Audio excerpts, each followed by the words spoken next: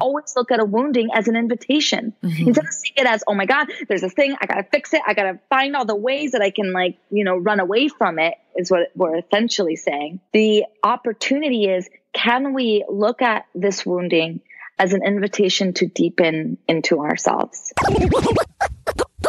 This is your Kick Ass Life podcast, episode number 263 with guest Thais Sky. This is the Your Kick Ass Life podcast with Andrea Owen, a no BS guide to self help and badassery. Because, ladies, let's face it, life's too short for it to not kick ass. And here's your host, the girl who serves it up straight with a side of crazy, Andrea Owen. Hey there, ass kickers. Welcome to another episode of the podcast. I am so glad that you are here. It is our first interview of 2019. Last week, if you didn't listen, I thought it was a pretty good episode talking about New Year, New You.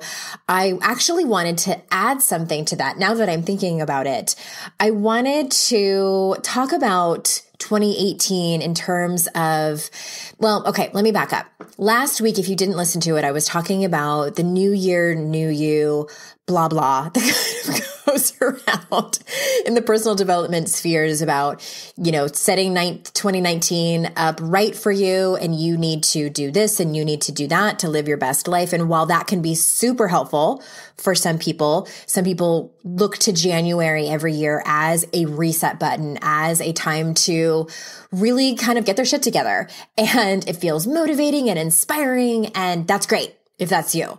For a lot of people, it's not. It feels overwhelming. Some people live in the land of snow in January where it feels like, ah, all I want to do is rest and eat pizza and I will get my shit together in the spring. That's how I feel.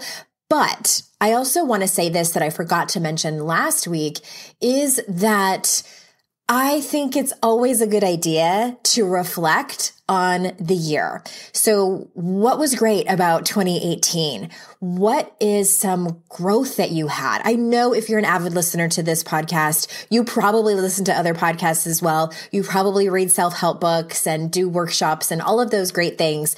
So what are some lessons that you have learned that have made you a better person?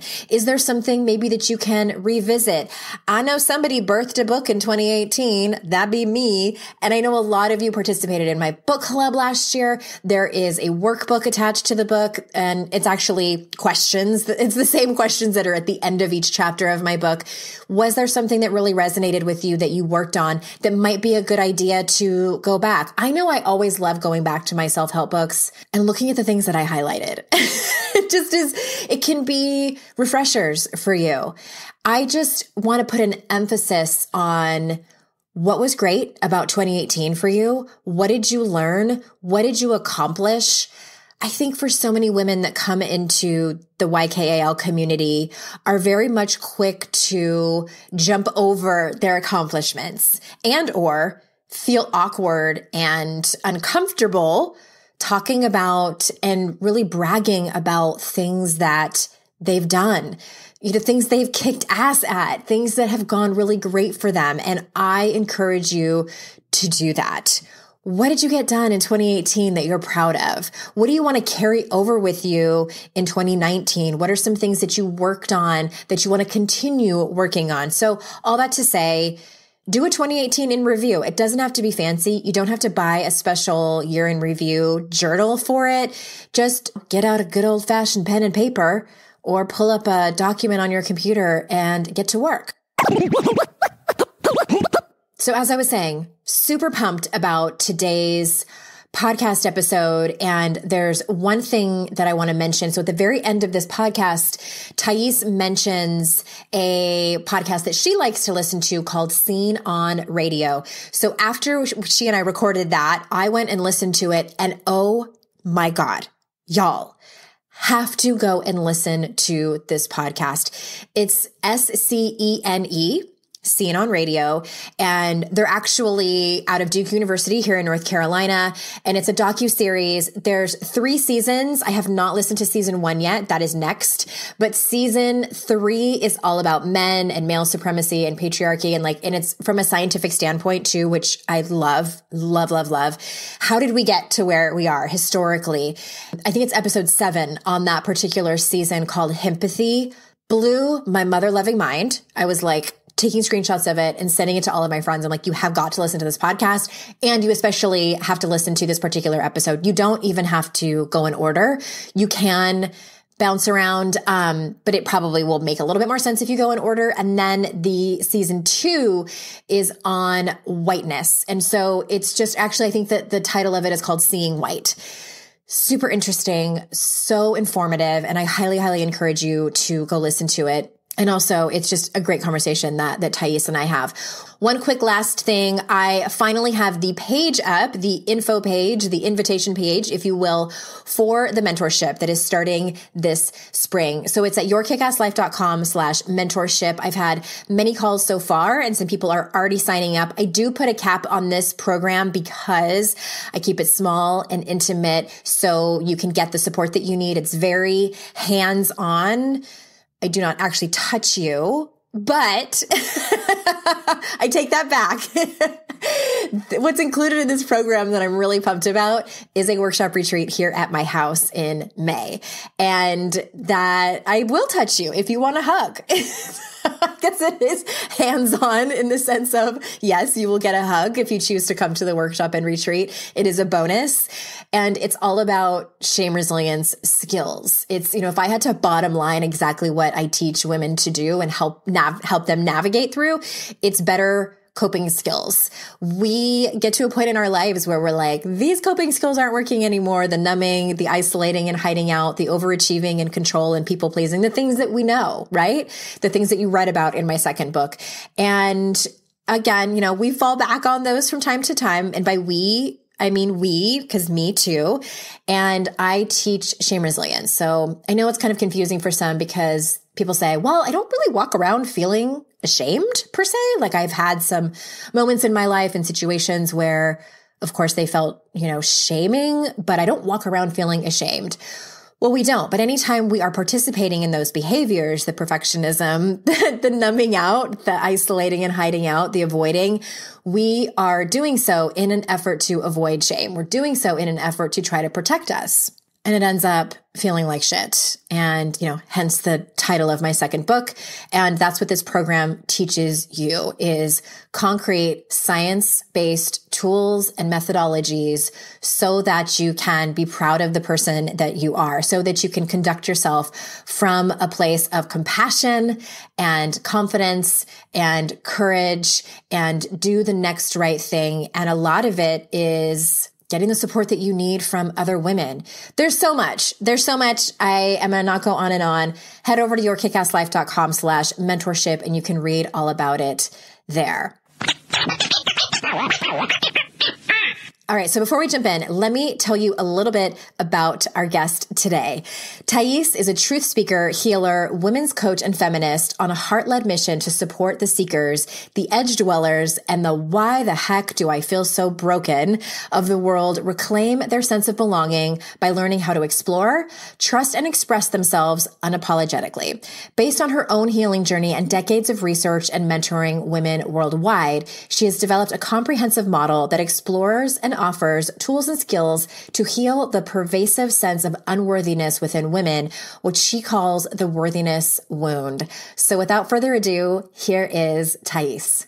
Thais, welcome to the show. Thank you so much for having me. I'm excited to talk to you. You and I met well, it's been a long time. It's been almost a year when I was kind of touring the United States on my book tour. And I'm, I am so lucky to have gotten the chance to hug you in the flesh. And I I'm excited about this conversation because our work is so complementary and let me just jump in because the first thing someone sees when they land on your website are the words reclaiming your worth is a radical act. So can you tell mm-hmm. us what does reclaiming look like? What does that mean? Yeah, I love the word reclaim. You know, I think when we're talking about claiming something, we're talking about taking something on that's new. Um, but I believe that our worth is not new. Um, the concept of worthiness is not is not a new concept that we have to create within ourselves. It's something that we are already inherent. Um, but we've kind of forgotten along the way for a multitude of reasons. We've forgotten because of our culture. We've forgotten because of our um, upbringing. We've forgotten because um, it benefits the larger reality if we feel unworthy, right? So for me, I am obsessed with this idea of how can we reclaim our sense of worthiness and unhook ourselves from the tantalizing capitalistic narrative that tells us that our worth is tied to our productivity. Mm-hmm. Our worth is tied to how our body looks. Our worth is tied to um, how we appear to the world, you know? It's, I, you know, like the first thing that came to me when I was listening to you say that, like, that is like a big, green, hairy, scary monster. But I don't, and I mean, just what I mean by that is because it's so, it can be multi-layered and multifaceted. And like you said, because it can come from our family of origin, from our culture, from past relationships and untangling and unlearning that is, is work. And I, I love that you use the word reclaim. Yeah. Well, yeah. follow up to that last question. This is maybe what you were jumping into. So what are a few, yeah, yeah. like, even just like one small step that someone can take towards reclaiming their worth? Or maybe like, where do you start with clients when you first start working with them? That's a big question. I know. Uh, it depends. depends. It does depend. But here's the thing. So uh, the reason why I've even started doing my work with the concept of worthiness is because I think it's very understood from a cultural perspective that having a sense of worth is key to the things that we want in our lives, whether that's happiness or freedom or fulfilling relationships. We have this sense that worthiness is the answer. Like we have this sense that if we feel worthy enough of blank, there's going to be less obstacles to that blank. Um, but the problem is whenever I read any self development book, I've poured through hundreds of them. You know, everyone talks about the, the importance of worth, but no one really talks about how to cultivate that sense of worth.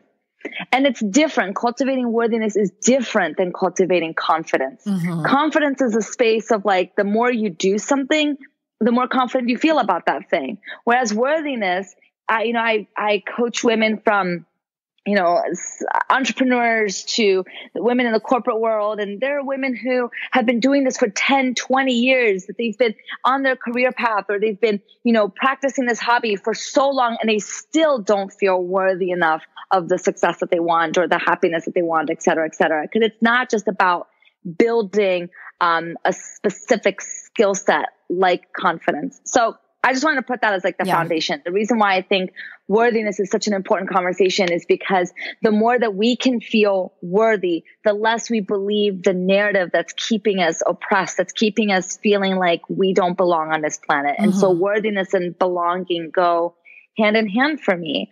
Um, and so how, what, what do we do? Well, I think the first really critical and important step to recognizing and reclaiming our worth is getting really real with ourselves on where we feel unworthy.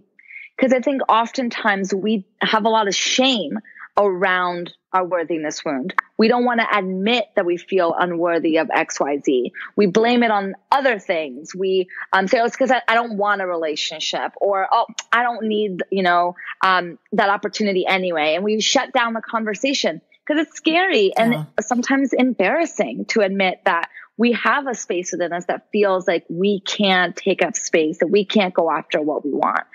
And so while I recognize that the shame is there, um, I invite all of us to go a layer deeper and to be really, really real with ourselves on where we feel like we're not worthy. Because only when we can really be unapologetic about seeing where we are not can we actually do something different. Mm-hmm. Yes, that is that is an um, perfect first step and it really depends. And I think that I think I'm always an encourager of breaking down parts of your life because I think that personal development can feel overwhelming at times, especially when that self awareness comes in and then you look around and like the lights could just come on and you're like, oh shit, there's a lot to yeah. do here. And, yeah. and I always tell people, you know, practice self compassion in those moments. We've all been in that place. If you, if you play personal development long enough, it's, it's yeah. going to happen. There's such a deep connection, I think, about the self development industry and the worthiness wound. And the connection that I see is that while the self development industry wants, quote unquote, like the the um, overarching message of the self development industry is that it wants people to feel confident, wants people to feel self actualizing, it wants people to be enlightened, et cetera, et cetera. That's the narrative that the self development industry says. You know, anyone can do it. You know, if you just work hard enough, just try like, hard enough. Mm-hmm. Exactly. But what's what people don't recognize in order for the self development industry to exist, it has to feed off of your worthiness wound. So in order for the books to sell, the programs to sell, et cetera, et cetera, I mean, in many, many ways, the marketing is you're broken. I have the answer. Mm-hmm. You know, you're sorry, like this has sucked and this is really bad, but guess what? I have the answer and let me show you the way. Yeah. Um, and then it becomes like a form of gaslighting. It becomes very confusing for us because, like, well, wait a minute. Like, we want to heal this place within us, but it seems like the more search we do, the more broken we feel. Mm-hmm. How does that work? And that's why a lot of what I do and the, the perspective that I emphasize is there's nothing broken. And the worthiness wound, the existence of the worthiness wound is not an indication that there's something broken. I feel like it just means that we're human. A hundred percent. Exactly. It means that we're human. It means that we're having a human experience. It means that there's an invitation here. Yeah. always look at a wounding as an invitation mm-hmm. instead of seeing it as, oh my God, there's this thing. I got to fix it. I got to find all the ways that I can like, you know, run away from it is what we're essentially saying. The opportunity is, can we look at this wounding as an invitation to deepen into ourselves. Yes, I love that last part. Well, and I don't know if you have experienced this as well, but you know, I've been doing this for let's see, I started Your Kick-Ass Life in 2010, so it's been a minute and I pretty quickly, I, was, I would say at least the third year, realized the moral dilemma of what you were just talking about. Because mm-hmm. I found that there were certain people, not not all of them by any stretch, but there were certain people that wanted to, you know, participate in my programs or hire me one on one and they maybe some of them even said it out loud. They wanted me to fix them. And I had to be very clear. Like, this is not what this is. I, I can't. I'm not magic. Um, I don't have any mind control. And it really, this is a lifelong process. You know, like, like the marketing experts don't want us to tell people that. They want us to say like, no, I have the answer and this is it. And you're going to be fixed and cured at the end of this. And what I've had to tell people, especially when I have calls with people who are going to come to a retreat or do something that that's, that's higher end because there's a lot of, um, there's a lot of, it's, you know, it's a lot of like one-on-one participation with me is that I am not the boss of you. Like I can't magically fix you. And it really is within yourself. And that re- this is just one of the steps of many that you will take in your personal development journey that is going to get you closer to yourself. What do you think about that? 100% yeah i love that and I say that like whenever we come with the energy of I want you to fix me, you know, I am always very tender in that space. Very tender. I've been I've energy. been a student in that place, so I know what that's like. Yeah. That desperate mm-hmm. place. Mm-hmm. I have too. Yeah, we're so desperate, and I think that that is so divine because that desperation is actually coming from a deeper longing, and that longing is this highest space within us, craving for us to move forward away from the pain that we have felt for so long to be the only option for us. So I love that craving. I love that longing. And yes, it leads into desperation. That's where we need to attune and we need to take a step back and we need to breathe and recognize that no one is going to save us. But at the same time, it's so beautiful that we have that, that longing. We have that craving. So we don't want to throw the baby out with the bathwater. It's just we do want to recognize that, you know, the reason why I think so many of us want somebody else to save us is because we're terrified of taking responsibility for our lives. And when I talk about taking responsibility, I'm always amazed at how skewed this conversation is because for many of us, particularly um, women, we're taught to take responsibility, things that aren't ours to take responsibility for, like the emotions of others and mm-hmm. how other people react and, and the um because we're so emotionally attuned we take that on as our as our own stuff and then there's so many areas of our lives where we don't take responsibility and we really hope that somebody else can save us and so developing a new relationship with this concept of taking self responsibility is such a beautiful um, opportunity for us to um, really recognize where there are places where we just don't want to take ownership of our lives. And that's really okay. Um, it's okay to be there. It's just then you got to ask yourself, well, if I don't want to take responsibility and I don't, you know, and I want change, that's a real catch 22 here. What am I willing to do about it? Mm-hmm. I see it. I see that happen sometimes with, especially with women who have had really difficult romantic relationships. And because mm-hmm. I'm like raise my hand over here because this was me. This was me too. I went from relationship to relationship, look, you know, putting all of my worthiness in my partner. And if, you know, if mm-hmm. he just, if he just treated me a certain way and loved me the way that I really, really wanted to be loved, then I would feel worthy. And this wasn't, at that time, it wasn't conscious. It was, I just wanted, I just felt like I'd be happier. We would all be happier yeah. if he just behaved yeah. like I wanted him to. And then as soon as I came out of that and kind of saw the light and picked my head up out of the dirt, then I was looking for the next quote unquote answer. So personally, it mm-hmm. wasn't until I was like, oh, you mean this is all on me? And I, you're right. You used the word like terrified. Like I was terrified because I didn't know how to mm-hmm. trust myself. I didn't know like there was this whole concept of like self love. I'm like, what does that even look like? I had to start from mm-hmm. the beginning. And I, I, I have such a soft place in my heart for women in that place because like you said, it is, it's a beautiful place to be when you pick your head up and realize that when when the shift for me happened like oh wait this is actually really powerful that i have the opportunity to do this that i felt like was you know explosions happening a hundred percent i love that yeah well, I'm curious too because you you talk about when you talk about healing worthiness, you talk about healing the little girl within. So mm-hmm. what do you what do you see a lot with your clients with doing do you call it inner child work or or what do you what do you do? What do you think? Yeah, I call it inner child work. You know, this was um, a tool that my um, healer taught me when I was um, recovering from um, disordered eating, and I it revolutionized my life. You know, this concept that there's so there's multiple parts of us, and there is a part within all of us that is frozen in time frozen in time at a time when we didn't know what to do. We didn't have any um, skills for navigating what was going on in our lives. And so um, that part of our psyche is still at that age.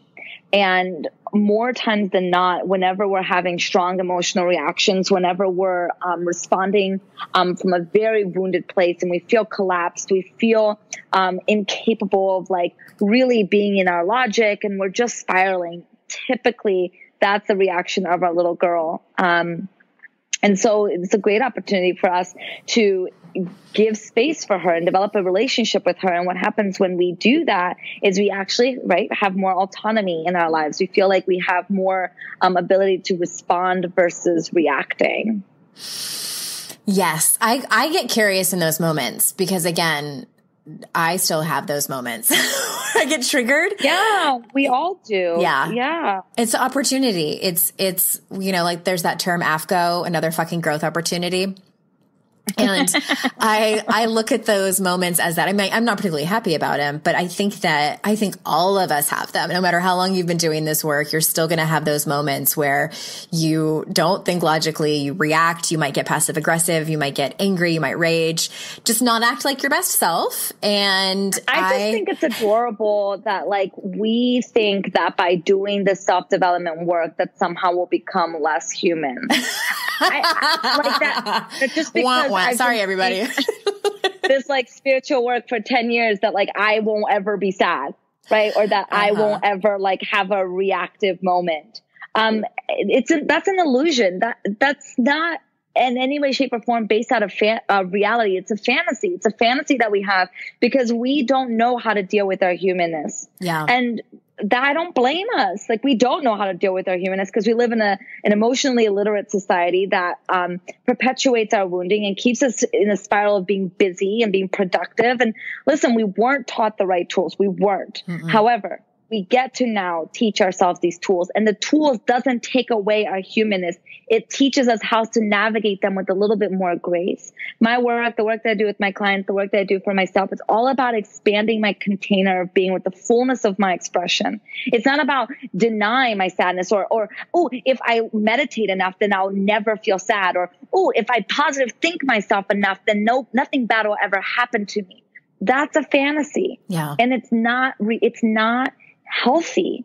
We want to experience the full spectrum of the human experience. It's not about limiting that experience. It's about being able to hold it without collapsing. It's about being able to be stronger, resilient, more capable of navigating all of these things without it meaning something detrimental, bad, horrendous about who we are. Yeah. That's the real work. And so it's adorable when like I I talk to people and they, you know, say, well, you know, I've been doing this work for a bajillion years, but like, you know, I still got sad over that. And it's like, fuck, of course you still got sad over that. You're right? human. Mm-hmm. That's what we're here to do is to experience all of these emotions.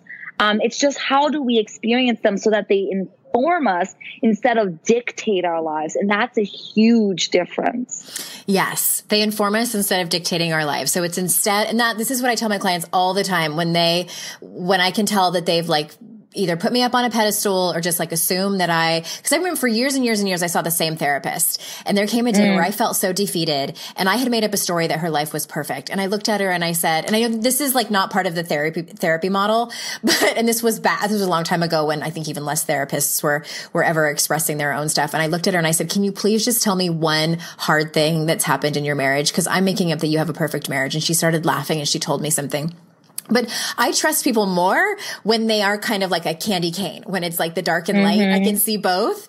And mm-hmm. it's exactly, and I tell my clients this all the time, like the difference between me now than the, than the me 12 years ago when I first started doing this work is that I can navigate this with resilience and a little bit more grace. And, and trust me, there are times when I am not my best self, when I've been passive aggressive with my husband, when I've snapped at somebody and I have to turn around and go clean it up with my tail between my legs a little bit. and it's not my mm-hmm. favorite moments, but it is, it's just about about not letting those feelings and triggers and um, and old patterns dictate your thoughts, your decisions, your behaviors for longer than it needs to. A hundred percent. I hope yes. you do spoken word poetry because I love listening to you preach. You have such a great way. Of, I just think you're how expressive you are is just beautiful. I just wanted to acknowledge that. yeah, thank you. I appreciate that. well, speaking of preaching, you, I know you speak a lot about very important social justice issues, and you said before we started recording, you said you can't talk about the worthiness wound without talking about whiteness. So, can you tell us about what you mean by that? Yeah, you know, when we look at what contributes to the worthiness wound, um, one of the many contributors is our culture, right? Yeah. I mean, um, as women, we get to really be viscerally aware of how we were not taught the same skills. We were not treated in the same way as men. And therefore, it is very clear how men have less of this sense of unworthiness than we do. And of course, I'm gen, I'm stereotyping here. Yeah. I'm painting broad brush. Generalizing. Generalizing. That's the word. Yes. Um, but then the more marginalized of an identity we carry, the greater the um, pressure from our culture to have a worthiness wound because our culture tells us that if you look a certain way and act a certain way, um, if you are this perfect idealized woman, um, then you will be protected. You will be safe. You will be happy. And as as you deviate from that norm, the more you're inherently punished for not being what you should be according to our culture. And so one of the way, one of the many, um, systems that perpetuate our worthiness wound is whiteness, as well as cis heteronormativity, mm-hmm. um, as well as patriarchy. And so our um, white supremacy culture tells us that beauty is through the lens of whiteness. And that if you are white and if you um, perpetuate the narrative of whiteness, then you will be okay. And if you're not, the more you deviate from that lens of whiteness, the more you're shunned, the more you're not okay, the more you're broken, the more you need to fix yourself, the more you need to experience a sense of unworthiness as a as a shame mechanism to get you back to normal. You know what I mean? Like normal as our culture defines it. So, you know, we have to be looking at these systems if we're to really address the worthiness wound. And whiteness, white supremacy is embedded in every single system in our culture. And so part of the work of doing our own internalized healing is also recognizing how our behavior, our actions, our experience, our um, embodiment is impacting and affecting other people. And that includes, as a white woman, how my whiteness is perpetuating white supremacy.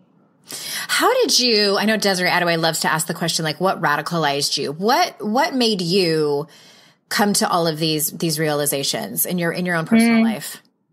Yeah, you know, so you know, I'm not unlike many other white women who kind of woke up when Trump was elected. Yeah. Um, but that wasn't the only thing that was going on. I think it was just all coincided. It was like one big, um, just all these different forces coming together. I, I, think is the word you're yeah. looking for this topic. Yeah, there was a lot of things coming together. I was doing some deeper healing around my mother wound and around um, my relationship with my mother that was allowing me to kind of step more and more into my own power.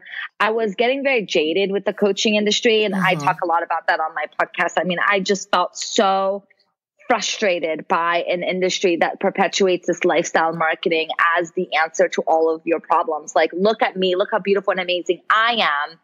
I lead such a beautiful life. Look at my private jet and make millions of dollars. So obviously you can't too because I'm just a small girl from a small town from a small bump box. So like if I'm this way, you can be this way too. And I was I was participating in that 100% in lifestyle marketing and um, this idea of putting myself on this pedestal and it wasn't working for me. I was feeling incongruent and I was feeling frustrated in this industry that continues to objectify women in this way. Um, I joined a Facebook group that's unfortunately no longer in existence, but I joined this Facebook group where there was a lot of conversations on social justice and I wasn't aware of anything social justice. I didn't know what that really meant. And um, there were a lot of conversations in that group about um, whiteness and white supremacy and white people are inherently racist um, just because of the color of their skin and that we have work to do to unpack our whiteness. And of course, like most white people waking up to their whiteness, there was a lot of who me, like that's not me. Like I don't do that. I don't participate in that way. Look at what a good white person I am.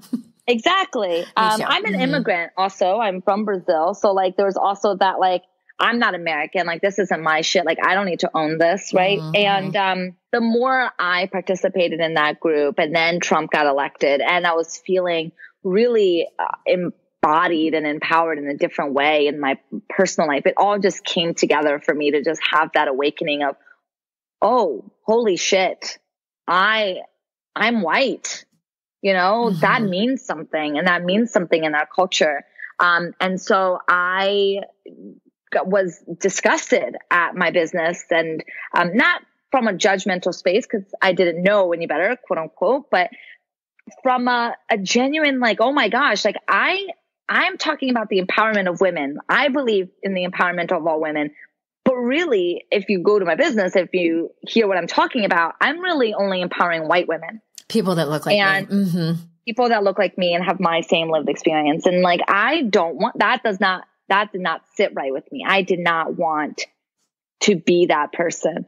Um, and so I completely dismantled my business and built it back up. I joke that I built it back up brick by brick. Obviously, I don't have a brick and mortar business, but um, built my business back up and questioning myself every step of the way. Like, how can I make sure that my business is inclusive, but not just as a performative allyship sort of way. It's like, hey, look at me, I'm inclusive, but from a, like a genuine, like, how can I make sure that my work embodies the full spectrum of the human experience.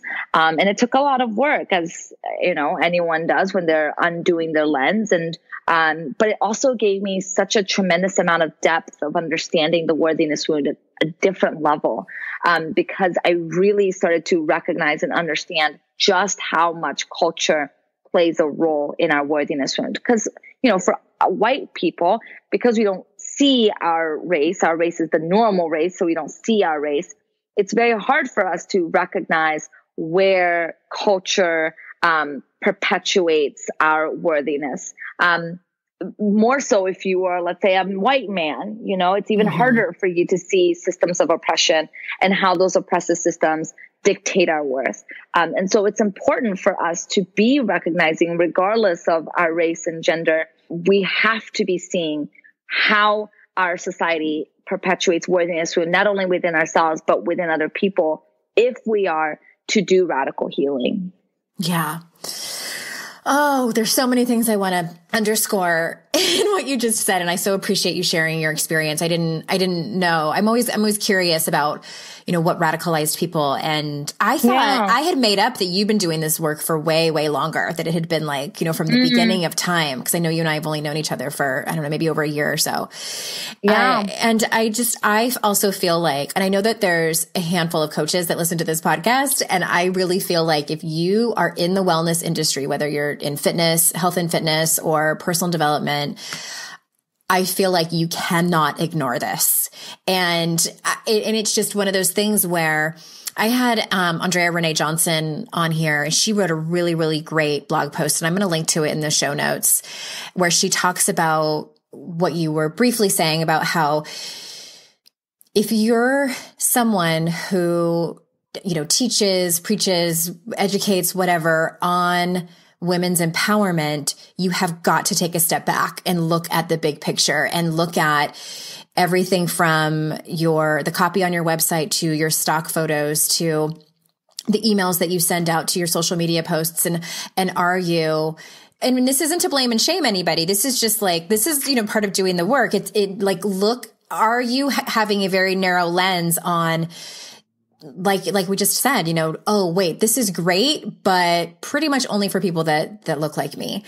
And mm-hmm. you know, I'm in a class right now and uh, called Foundations of Social Justice, and I, I haven't talked about it on the podcast for a couple of reasons. A, I'm not done with it, and I I want to make sure that I've absorbed everything so I can talk about it eloquently. I'm going to have the teacher on as a guest too, but also because holy shit, like this class is. I had to write my teacher an email because I it's interesting. A couple of things have happened in this class. I have come to the realization that I have some work to do and I'm in the work right now of healing from my own many things, many, many things, but more specifically as it pertains to this conversation, the rage that I have around rape culture in general and mm. my own so much sexual harassment and some sexual assaults and just so much sexual harassment throughout my life. And granted, it's, it's slowed down a lot since I've reached middle age now. It's not as much, but it's, um, I was noticing in my comments in the class that I was, just really cynical and like the I,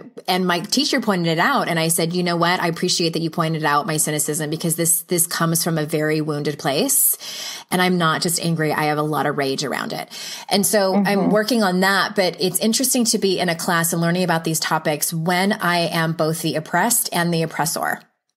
Mm-hmm. And it's really complicated. That's the only word I can think of right now. It's it's complicated emotions and feelings, and it's heavy. Mm-hmm. Yeah, and actually, I talk about this a lot in my work, um, but in this scope, um, a little bit because I think it's really important is holding the both and. Mm-hmm. Um, the both and is to be able to hold two what seems to be juxtapositioning um, concepts, ideas, feelings, and be able to hold both as part of our human experience. Um, and so that looks like, you know, when someone dies and we feel both the grief and the relief. And then we yeah. feel guilt because we're not supposed to feel the relief. We're supposed to only feel um, the sadness of the death. And um, it's like, well, what if you can hold both? What if both are allowed to be here? What would that look like? You know, what would you have to feel if you gave yourself permission to allow both to exist? And for most of us, what we would have to feel is that we're human. And again, we live in this fantasy of believing that if we can pull ourselves into this fantasy that we're not human, we never have to feel hurt again. And it doesn't work that way. It's a false shield that doesn't allow us to then have the right tools to navigate this stuff, right? Like if we're perpetuating this idea of positive thinking, positive thinking, positive thinking, we don't learn the tools of how to navigate things when shit hits the fan. Uh-huh. Right? So like in this particular case, holding the possibility that we're both the oppressor and the oppressed is so important because then we can use our understanding of where we are oppressed to have greater compassion and understanding and awareness for where we oppress. Yeah. Um, and I just want to remind all of us that there are so many areas of our lives for us to be exploring, like ableism and fat mm-hmm. phobia. Mm-hmm. I mean, these are places that I don't think get enough attention, particularly in the wellness community. Um, that, you know, there's this, um, concept of health at every size. And yet it's hard for so many people to reconcile with the fact that you know, people don't owe us their health. No. You know, and we not need to demand that anybody looks a certain way. And wherever we do, wherever we're perpetuating this idea of being skinny, of losing weight, of being, you know, uh, measuring your worth down to what's on the scale of what's your pant size, even if it's under the guise of empowerment, what we're doing is we're perpetuating fatphobic culture. We're yeah. perpetuating ableism. And we need to be careful with that because it's not, it's dehumanizing. It's dehumanizing to large swaths of people. Mm-hmm. Um, so an important conversation, but there are so many intersections where we also have an opportunity to do exploration of the both and of holding the space that we are both the oppressor and the oppressed. And because you are the oppressor does not mean that you are a bad person. Yeah. And wherever there is that space, it's because there's a worthiness wound at play. And again, this is why I believe healing the worthiness wound is a radical act. Because when we can heal or um, step into greater awareness of our worthiness wound, then we can hold greater space for where we are the oppressor mm-hmm. without making it us. Because when we make something mean about us, we're no longer naming the harm and putting the attention to where it matters. Yeah. That's right? so, so important. Like, we need to be tuning into that and doing the work of healing the worthiness wound I've seen to be a great way. Not the only way. I'm not this only person. It's there's so many ways to this, but I found it to be such a great way to ease into this understanding that just because that we are oppressing does not mean we now get to spiral in shame and guilt, put our head back in the sand and check out from this conversation. Yeah. Yeah, to me I call that like having stamina I just, mm. I, and it didn't, and I, I wonder for me personally, because I've talked about challenging, you know, and heavy topics for such a long time, I, you know, hear people's shame stories on the regular and I can hold that space for them. And I've, I've delved into my own many, many years. I got, I feel like I, I made it through that that very first part of, you know, finding out, oh, that I actually am a racist. Oh, that I am the oppressor. Oh, that I have all these, you know, fat phobic and just, and on and on and on. And I moved through that fairly quickly, just in terms of like that shame and that, that wound so that I can now have mm-hmm. the conversation and people can point out things that I've done that are racist or fat phobic or whatever it is. And I can take that in and know that I'm not a terrible person for having done that, that I'm, I'm an American who grew up in this shitty culture and, mm-hmm. and, and learn from it. But I, I, I just, I say that because I, I encourage people to step into the work that if you are doing this work or even just hearing this conversation between me and Thais and feeling like, ooh, that wash of shame, that's okay. Like keep walking forward. It will pass. What you need mm-hmm. is the stamina to be able to have the conversations for longer periods of time with people and not like, just like you just said so beautifully, not make it about you. It's not about you. It's about the system. Mm-hmm. Exactly. And, this is this is where I get excited is when I see teachers use what has been traditionally tools to perpetuate white supremacy in the self-development industry using those tools to actually help us navigate the complexity of the human experience this is where I get really excited because this is the way forward. I believe this is how we change systems in our industry, right? In this specific space. This tools of both and, you know, this is in many ways a similar concept to love and light, which is to love all, to accept all, to embrace all. But oftentimes we use the concept of love and light to spiritually bypass the shadow. Um, and it doesn't have to be that way. It does not have to be that way. We can use these tools. It's just a tool is a tool. It's like a hammer. We get to decide how to use it. and we get to use it in ways that will rat that will like completely turn whiteness on its head. Um, but we can't really be having a conversation on whiteness without also broaching the topic of power, right? Because whiteness is all about power. And so recognizing power dynamics and recognizing where we're committed and ready and willing to put our power space down for other people is essential, you know, or else it all becomes talk. Mm-hmm. Yeah, it's it's oh, it's such a, a I need to have you on so we can just talk about this because there's so many different avenues that 100%. we can go down. Yeah. That we can go down. And well, and I'm I'm curious what your take is on this because and this is something gonna because I, I hear different opinions from different people. And what is your take on? I've heard around town, and what I mean by that is, you know, on social media, which is I know not the answer to everything, is that two white women should not be having this conversation.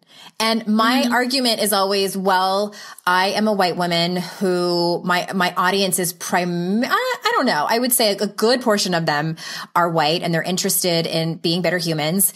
And a lot of my guests, like yourself are white and they're also doing this work. And so I'm curious what your take is on that. Yeah, you know, it's a good question. Something that I've navigated as well. I have my podcast, Reclaim, and um, my dear friend Lindsay Ray and I have a series on the podcast called You're Waking Up to Your White Privilege Now What? So it's like a five part series um, talking about whiteness.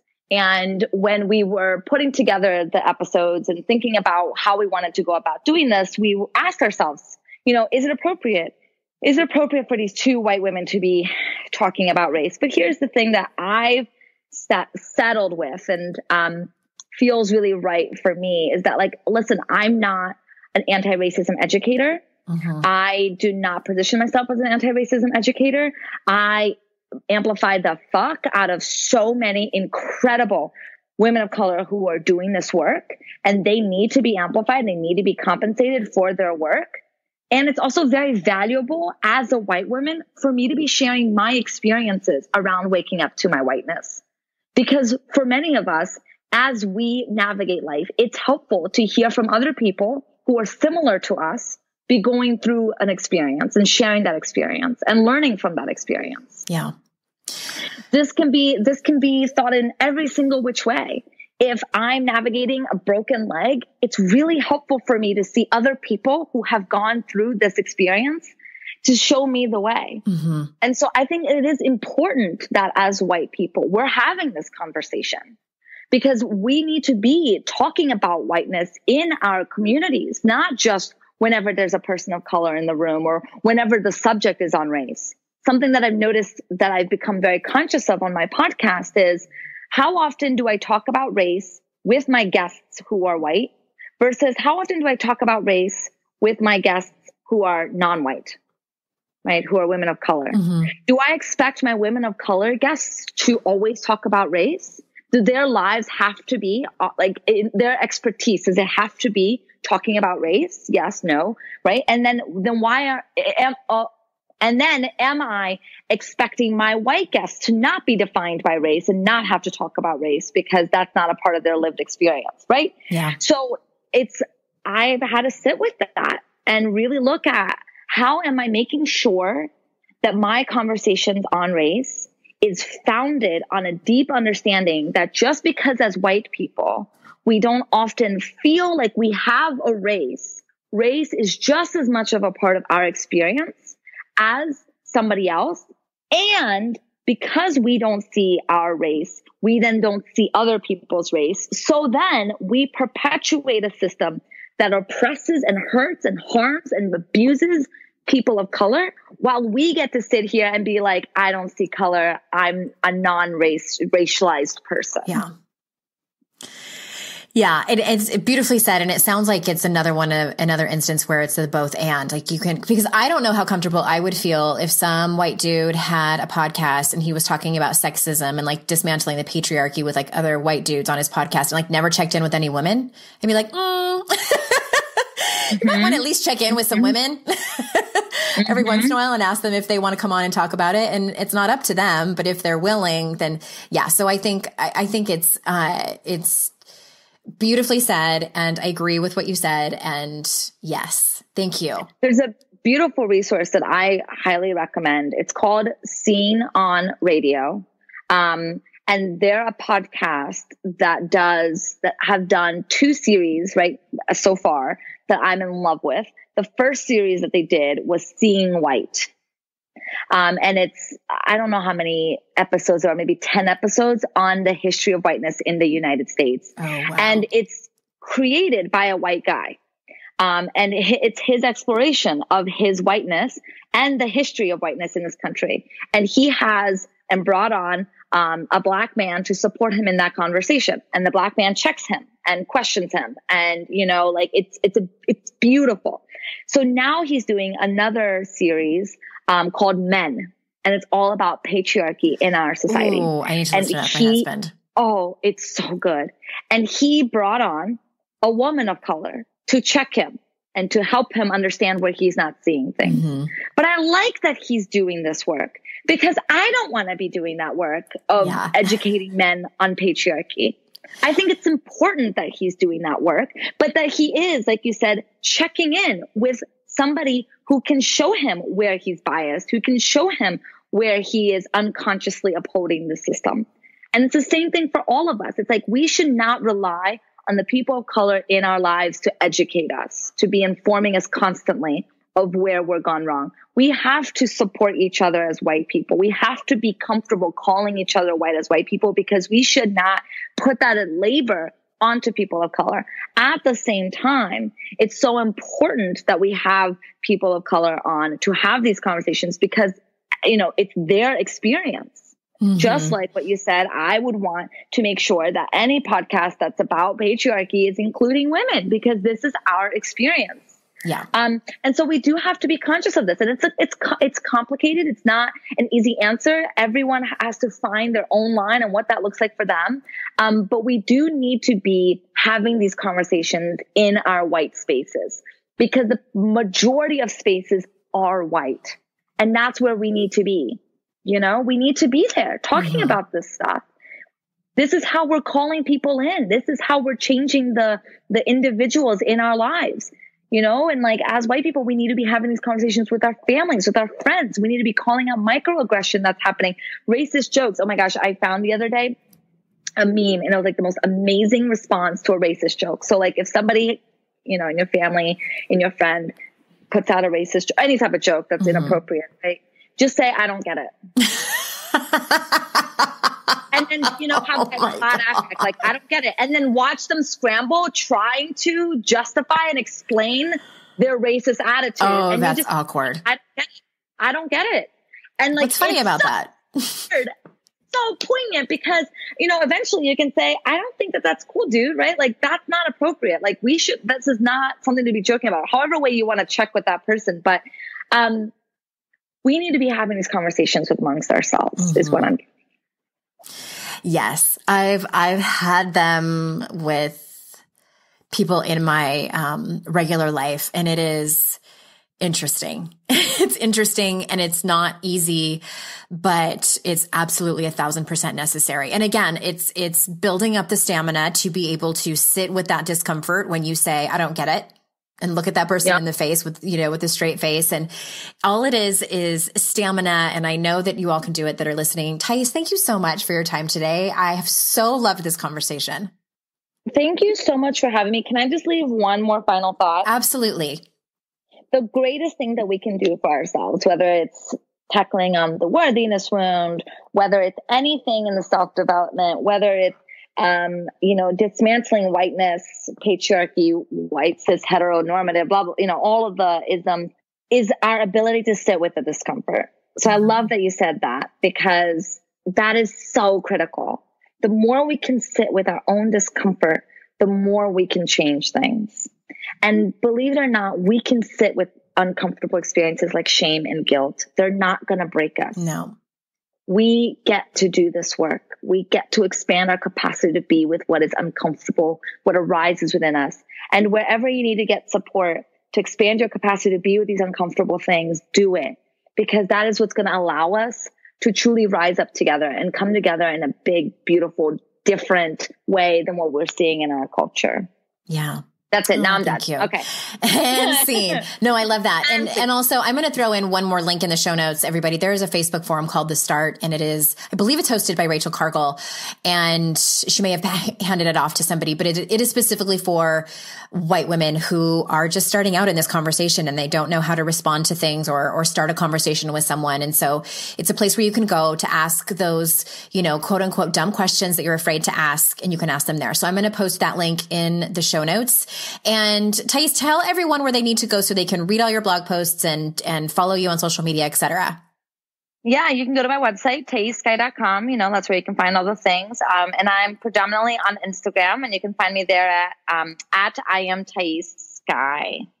And of course, those links will be in the show notes. I highly encourage you all to, I love, I love your writing. I love your Instagram posts and how, open you are and honest. And I, I love following you. And I think everyone should go and follow you. And to all the listeners out there today, thank you so much for being here with us. I am so grateful for your time. I know how valuable it is. And I do not take that for granted that you come to spend it with me and my guests here on the show. And until next time, everyone, I will see you all out in cyberspace. Bye, everybody.